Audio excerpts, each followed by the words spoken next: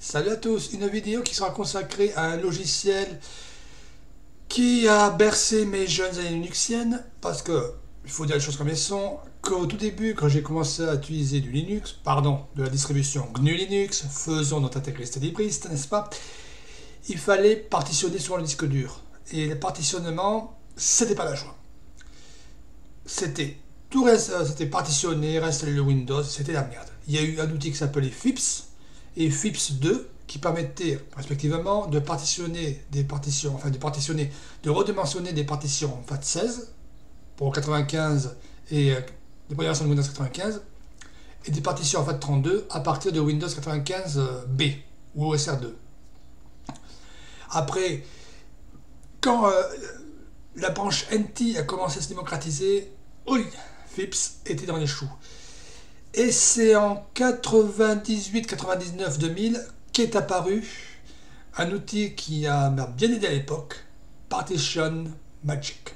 Développé à l'origine par PowerQuest, il a été racheté en 2003 par euh, Symantec et la dernière version date de 2004.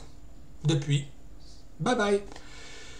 La dernière version est sortie en 2004 et ça fait à peu près 14-15 ans maintenant qu'elle n'a plus été mise à jour. Bien sûr, de nos jours, on utilise Gparted ou euh, LiveCD avec Gparted par exemple, enfin Live USB, je voulais dire. Gparted, c'est la trousse à outils indispensable pour redimensionner, sans perte théoriquement, des disques durs. Donc là, je vais vous montrer à quoi ressemblait l'ultime Partition Magic. Vous, aurez, vous avez le descriptif un lien vers un article de blog où j'ai été un peu plus, dirons-nous, détaillé, mais je vais vous montrer ce que ça donne. Donc là, je lance le WinXP,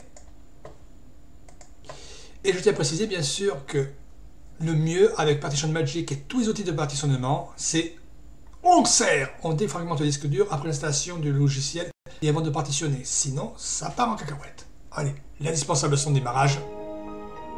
Voilà, ça c'est fait. Vous avez mal à la nuque, rien à foutre. Donc voilà. J'ai récupéré une version, mais à coup pas, via certains sites, parce qu'on peut tout trouver sur le grand internet. Et voilà, donc j'ai récupéré une version anglophone de notre ami Partition Magic qui s'appelait à l'époque Symantec Norton, enfin, Norton Partition Magic. La documentation, les outils, à savoir créer des disquettes de, de, de récupération, les infos de partition, pas mal de petits outils. Mais je vais vous montrer Partition Magic en action. Et vous allez voir, si vous connaissez euh, tout ce qui est euh, Gparted, ça va vraiment vous, dire vraiment, ah oui, ça ressemble. Donc là, j'ai un Windows XP avec une partage de 32 Go, pardon, une partition, et par exemple, je vais la, on va dire, hein, voilà, réduire à 50%. Bien sûr, avec les Windows récents, ça se fait directement dans le système, mais à l'époque, pas franchement. Donc, on va mettre euh, créer une nouvelle partition, next. Voilà, to create, voilà. Donc je propose directement la moitié. On pouvait faire de l'extended 2 et 3. Euh, euh, ça, je préfère autant pas. Voilà. Donc drive letter.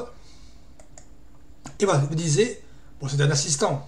Il y avait plusieurs assistants. Créer une partition, créer une partition de, de sauvegarde, euh, installer notre système d'exploitation, qu'on pouvait très bien faire ainsi.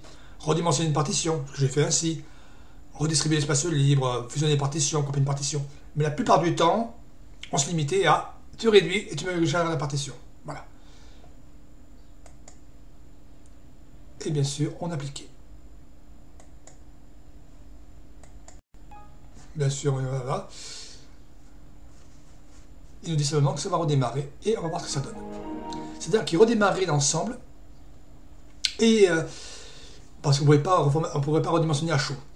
Donc là, je ne sais plus si c'est possible avec les Windows plus récents, parce qu'au-delà de Windows XP, il n'y a plus de support. Donc là, il est en train de préparer le partitionnement, vous voyez, ça se passait euh, de manière tout à fait euh, neutre, tout à fait euh, propre. Et après, on pouvait installer une, autre OS. Si tout se passait bien. Si tout se passait bien. Quoiqu'avec l'informatique, tout est possible. L'informatique est capable des meilleurs comme des pires. Oui, mais c'est un pire qu'un meilleur. Ah, je sens que mon Win l'a avorté, c'est pas grave. Ah, il y a du direct. C'est pas grave, normalement, il devrait démarrer tranquillement. Croisons les doigts. Donc on va laisser tranquillement euh, vérifier la partoche. C'est la moindre des choses. Et vous verrez qu'il y a deux partoches. Allez, encore un coup de son de démarrage. Ouais Super Ouais, mais c'est un son que les moins de 15 ans n'ont pas pu connaître. Bref. Allez. Donc, si on va dans l'explorateur, on voit qu'on a deux disques. Et si je fais l'affichage barre d'état, on voit qu'il y a un disque de 17 Go et l'autre de 14. Enfin, 15-15 quoi. Bon, en test, ça fonctionne pas. On voulait revenir. Euh, bon, la distribution ne fonctionnait pas. C'était la merde. Bref, on voulait revenir au disque d'origine. Pas compliqué. On relançait Partition Magic et on fusionnait l'ensemble. Non, je vais pas démarrer maintenant, merci. Donc, on relançait Partition Magic et on choisissait l'option fusionner ou en anglais to merge.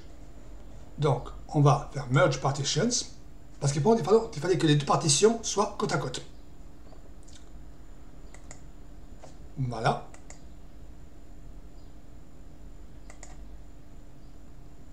Euh, remettre parce qu'on pouvait aussi se faire s'il y avait des données il les récupérait donc je vais mettre euh, Toto. Parce que j'ai aucune donnée mais peu importe.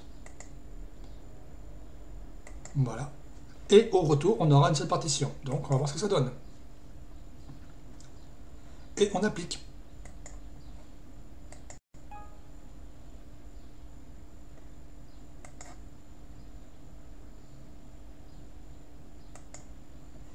Et là, normalement, ça ne devrait pas planter.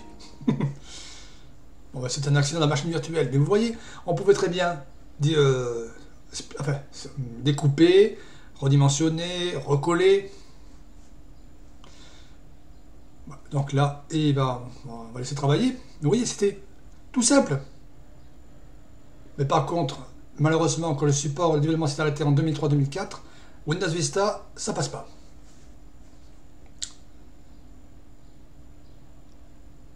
Mais je dois dire que j'ai plus confiance en un Gparted que dans Partition Magic. Vu l'âge du bousin, c'est normal, mais c'était quand même un outil puissant pour l'époque.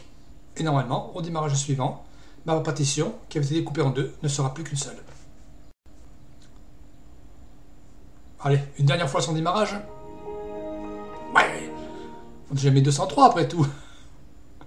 normalement, si je vais dans l'explorateur, j'aurai les deux morceaux qui auront été recollés et ma partition soit revenue comme euh, si elle avait été faite. Mais c'était pratique si on avait besoin, par exemple, de se créer une partition pour stocker ses données, par sécurité, parce que le système pouvait très bien partir en cacahuète. Et on se disait, merde, j'ai perdu toutes mes données, alors que si on avait fait une partition spécifique, euh, non.